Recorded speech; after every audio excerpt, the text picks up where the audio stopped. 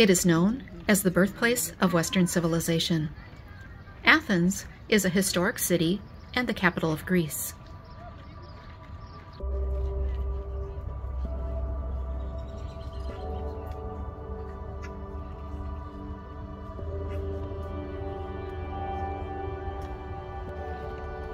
Me and my daughter joined a small tour group and traveled throughout the country for seven days. Located on a rocky outcrop above the city of Athens is an ancient citadel known as the Acropolis.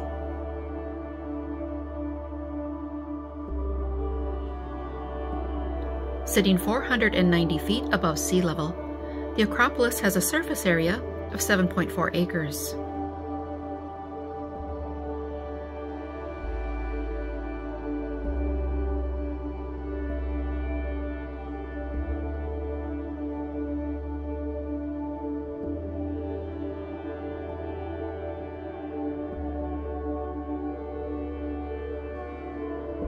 Haze had enveloped the city. Dust had blown in from North Africa and gave the city a surreal look.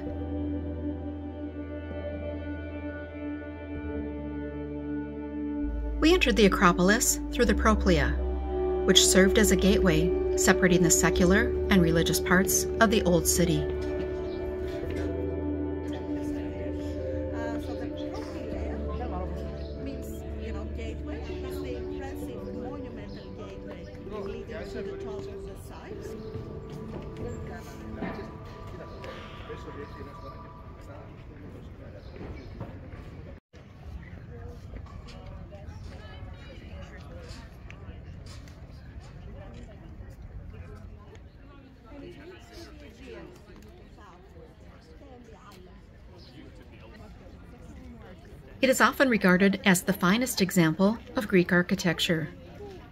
The Parthenon survived as a temple dedicated to the goddess Athena for nearly 1,000 years.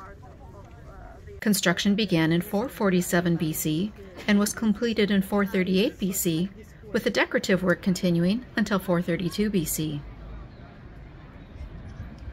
Over the centuries, the building has also served as a treasury, a Christian church, a mosque, and a gunpowder magazine by the Ottoman Empire.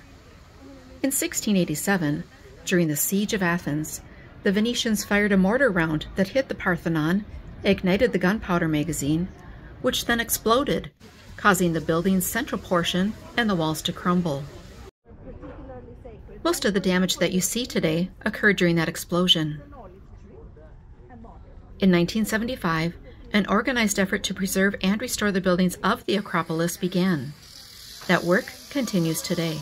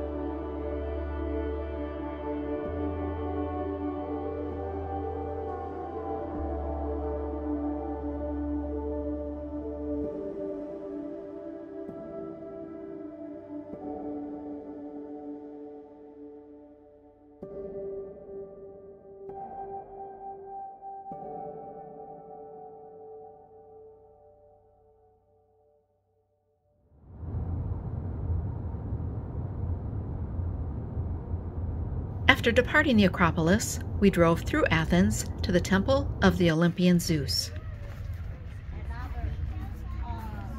Dedicated to the god Zeus, it took over 600 years to construct this temple. Construction began during the 6th century BC and was finally completed in 131 AD during the reign of the Roman Emperor Hadrian.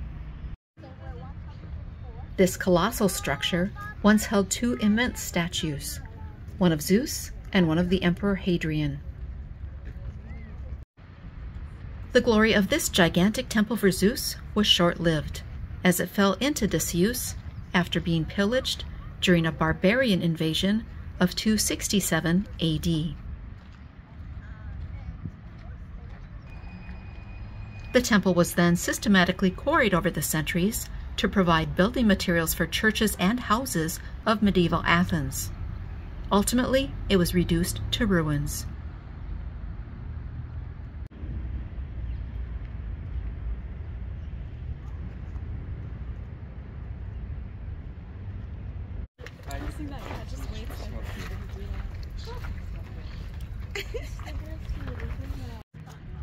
Of the 104 original columns, only 15 still stand today. The 16th column lies on the ground where it fell during a severe windstorm in 1852.